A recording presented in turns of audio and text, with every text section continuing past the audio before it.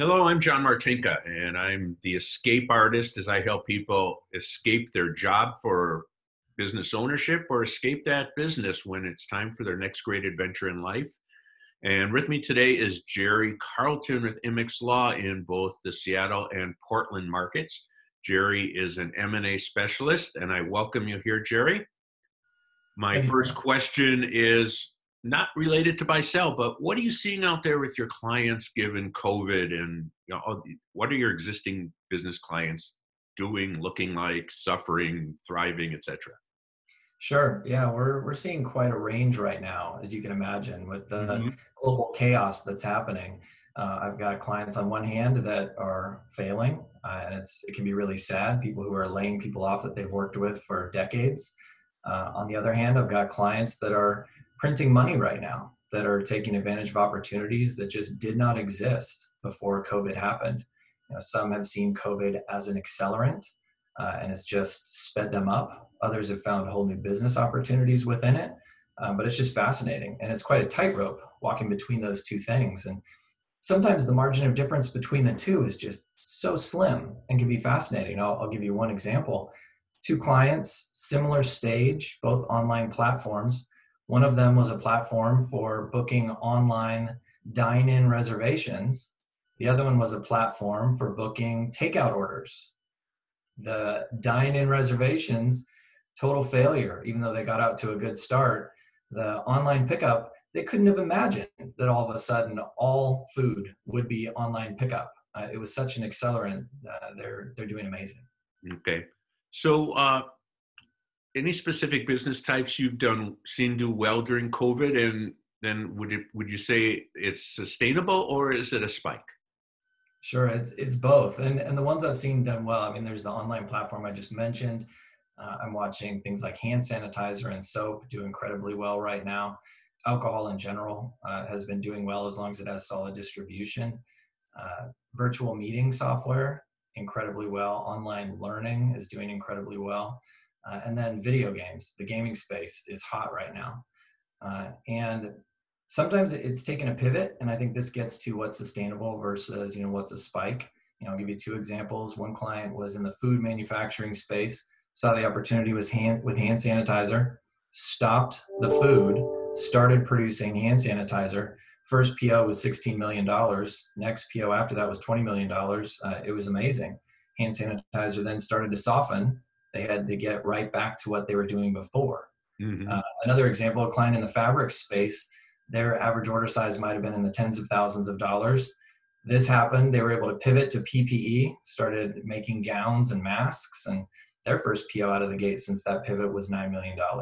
Uh, that one has yet to soften, but both because they pivoted, they still have their core business that they can go back to. Uh, I can see that if they had gone all in and not preserved their ability to go back to their core business, there could equally be a problem as things soften up.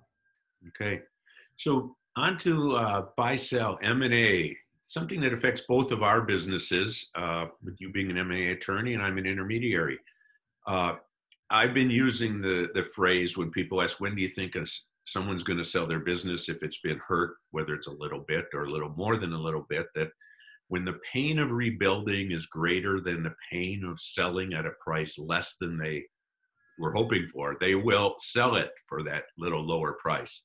Mm-hmm. Uh, what do you what do you think's out? What's going to happen out there with these businesses? The owners not wanting to go through it again. Uh, you think there's going to be a rush to sell? You think it's no big deal? No, unfortunately, I already have seen the rush to sell start. Uh, and it has been a bit of a case by case scenario each time, but I, I, did, I have seen two common factors come together when a business decides to just sell or even close uh, instead of keep trying. One, if they have in person, an in person consumer business, there's just too much uncertainty. Uh, I had one round of clients, they, they waited out the first quarantine, uh, then tried to open back up. Now, further uncertainty of how the open up is going to happen and even going backwards on that, they've decided to close or sell the other has just been on debt load. Uh, clients that have been leveraged that can't meet their debt obligations. That's been a reason that people are selling or closing. Uh, I've seen a lot of transactions right now that have been assumption of debt deals that we would have never dreamed would have happened prior to COVID. Okay. Well, that actually covers one of my future questions, which is you see changes in deal structures, and that's one of them. Oh, it's it's been dramatic. I mean, the the assumption of debt deals. I, from my experience, the opportunistic type deals broke out early in this downswing. Uh, in prior downswings, it took a little while for the market to to perform poorly before the opportunistic deals really broke out. But this one, they they started quickly, and assumption of debt deals have been pretty big. I will say though, one I find fascinating deal structure change that has happened because of all of this in smaller deals, I'm seeing stock sales primarily instead of asset sales. And it's because of the stimulus package that was rolled out in the form of the PPP. Buyers want to preserve the forgivability of the PPP loan that these sellers are holding. So if they did an asset sale, they might hurt the forgivability of it. Instead, they're actually buying the stock. So usually the sellers in smaller deals have to negotiate pretty hard to get a stock sale. Now it's being handed to them. So really? absolutely fascinating. That is interesting, and you're the first person I've talked to that has said that. Interesting. So that's a big change because of COVID. And what I also heard from you is that what COVID has done compared to past crises crises uh, is that it's accelerated the timeline. It's more like a, the hockey stick of movement rather than slow and steady. Yep, absolutely. I mean, I was shocked. We had the things come to a screeching halt in mid mid March, of course. Then some time focused internally as people were making strategic moves. But then the opportunistic deals broke out by the end of April. Uh, would you say the opportunistic deals are mostly another company buying them or an individual? Uh, I've seen a good mix of both. You know, some of my buyer side clients are individuals that have cash and want to get back in the game or want to own and run their own business, and they're just out deal shopping right now. Uh, but companies making moves is definitely a big part of it too. I'm watching people on the buy side look at their competitors, see who's having a hard time, and go in and, and buy for bargain prices. Yeah, I agree, and that's I think where the hurt business is. That's their savior, shall we say? I, I've got three clients right now who are we want to grow by acquisition. We want people in our in our industry. Yep. We're seeing some opportunity, you know, not to be bottom feeders, but to get get a, a better deal than they might have got a year ago, and still be helping that other company. And and that's a key part. I'll tell you, I had a deal we closed recently where I was feeling a little depressed about the deal that my client got. It was on the sales side. It was a business that was very strong prior to this whole thing breaking out it was an assumption of debt deal. There, there wasn't a lot of value that changed hands other than that. And my client was the one to give me a pep talk saying how thankful they were that the deal came together. They really did need to get out of the debt load. And they were so excited their employees got the chance to continue in their jobs. So that they were thankful for the transaction, even though the deal was not what we would have anticipated beginning of the year. Okay. So has legal due diligence changed due to COVID? Yes, yeah, I would say so. I mean, I, am watching a lot of uh, a lot of changes, a lot of updates happening in the in the online diligence space. So a lot of virtual platforms that are making moves to be more robust. Uh, I'm watching a particular interest in leases right now, as you can imagine. Buyer and seller are trying to see where the flexibility is as it relates to office space. Uh, and then I'm watching things just happen fast, you know, especially on these deals that are more crisis mode they need the deal to close quickly. So I'm watching a much more streamlined diligence process.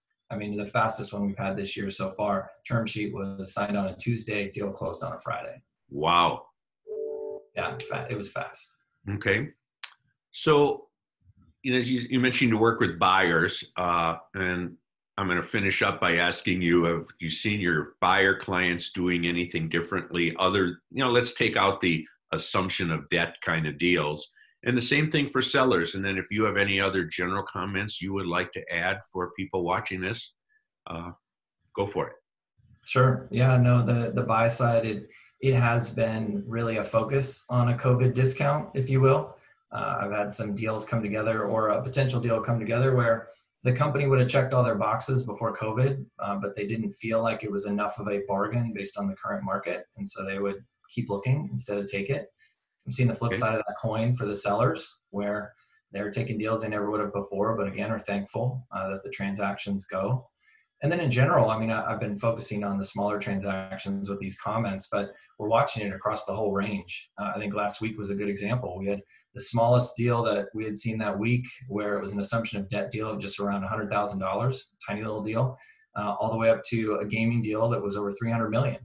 Uh, so even in the current environment, there's still some big dollar deals happening too, but a lot of strategy going into it. Okay. Any final comments, Jerry? Uh, I don't think so. Uh, it's thankfully because of COVID, uh, transactions are still happening. So I, my heart hurts for people whose industries are just completely stopped right now.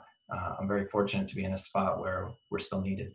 Yeah, I, I feel the same way. That yes, I uh, one of my clients. You know, I'll, sh- I'll just share as we finish up.